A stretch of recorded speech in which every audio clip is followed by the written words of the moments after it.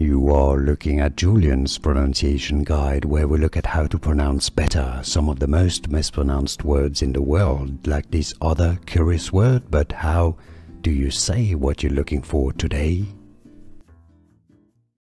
How do you pronounce this name? Ischar. Ischar. Here are more videos on how to pronounce more confusing words and names too many mispronounced. Like this video if you found it useful, I appreciate your support. I'll see you soon and thanks for watching.